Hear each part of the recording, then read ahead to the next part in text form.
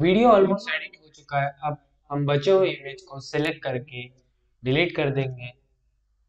और चलते हैं अब जनरेटर्स ऑप्शन की तरफ़ लेफ़्ट हैंड साइड में।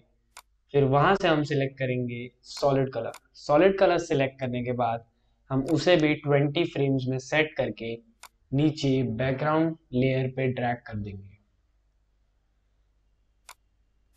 ड्रैग करने के बाद टाइटल ऑप्शन क्लिक करने के बाद टेक्स्ट को भी ड्रैग करके ले लेंगे और उसे भी 20 फ्रेम्स में सेट कर देंगे। अब टेक्स्ट वाले बॉक्स को क्लिक करके हम उसमें टेक्स्ट टाइप करेंगे। Thanks for watching.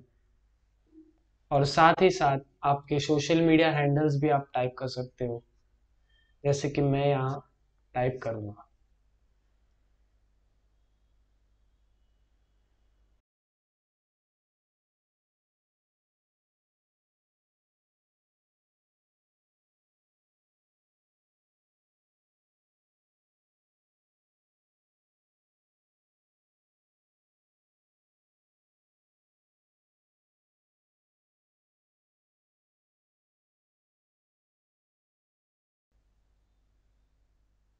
Text type जाने के बाद, अब हम यहाँ पे फॉन्ट साइज़ और कलर और टेक्स्ट के अलाइनमेंट को सेट कर लेंगे। यहाँ पर मैं अपनी पसंद का फॉन्ट चूज़ कर रहा हूँ। आप कोई भी फॉन्ट चूज़ कर सकते हो। और यहाँ मैं अपने टेक्स्ट अलाइनमेंट को सेंटर कर रहा हूँ। यहाँ पर मैं अपनी पसंद का टेक्स्ट कलर चूज़ कर रहा हूँ। आप कोई भी कलर चूज़ कर सकते हैं।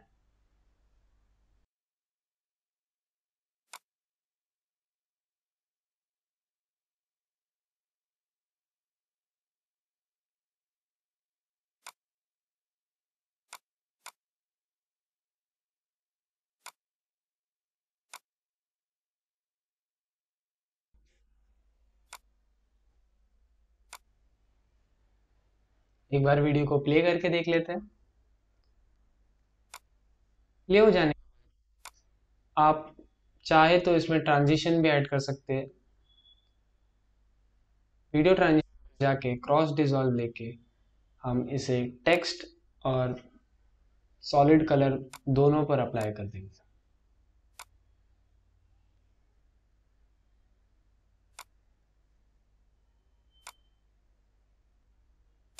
तो इसी तरह हमारा फुल वीडियो एडिट हो जाता है और प्ले करते समय कुछ ऐसा दिख रहा है। अब हम चलते हैं एक्सपोर्ट सेटिंग्स की तरफ़, जो कि है हमारा फाइनल स्टेप होगा so come to the final and last step हमारे वीडियो को एक्सपोर्ट कैसे करना है? तो ये जो रॉकेट सिंबल है नीचे, उस पर हम क्लिक करेंगे और कुछ ऐसा इंटरफेस दिखेगा। कस्टम ऑप्शन ऑलरेडी सिलेक्टेड होगा। आपको फ़ाइल नेम चेंज करना है और साथ ही साथ जहाँ पर आप वीडियो सेव करना चाहते हैं, वहाँ पर अपने लोकेश फोल्डर लोकेशन को एंटर कर दीजिए।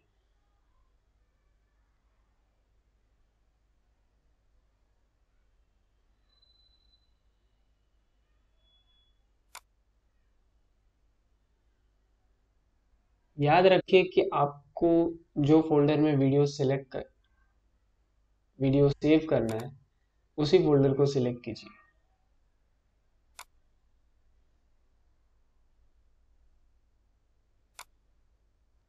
इतना होने के बाद अब हम वीडियो के फॉर्मेट को सेट करेंगे एमपी फोर में और साथ ही साथ रेजोल्यूशन को भी चेक कर ले कि वो 1080 zero eight zero into one zero eight zero form में हो, यानी स्क्वायर फॉर्म में। और बाकी सब चीज़ों को एज इट इज़ रहने दें।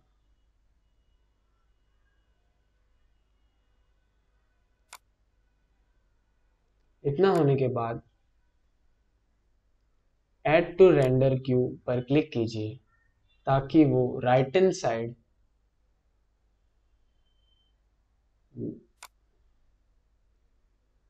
render queue option में आ जाए।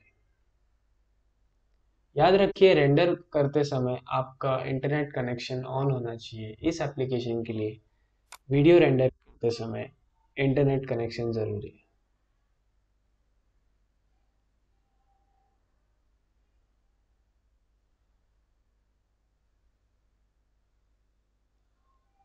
यहाँ पर हमारा वीडियो पूरा रेंडर हो चुका है। अब बढ़ते हैं हमारे वीडियो प्रीव्यू की तरफ़।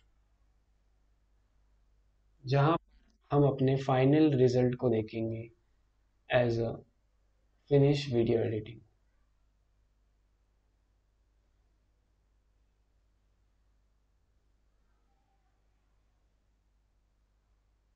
तो हम सॉफ्टवेयर को क्लोज कर लेंगे।